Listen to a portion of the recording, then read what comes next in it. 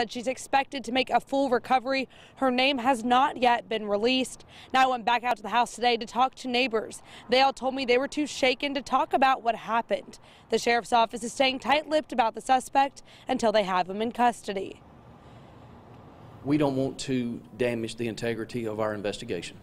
And uh, when, when, you- when you've got investigators with their feet on the ground, out knocking on doors and beating bushes and trying to find uh, any kind of leads that they can find to, to bring a, a suspect into custody, Patterson said he believes the shooting is an isolated situation. However, the sheriff's office did tell us the suspect is believed to be armed and dangerous. Now, anyone with information about the shooting or about the suspect is asked to call investigators immediately. Live in Madison County, Sydney Martin, WAAY 31 News.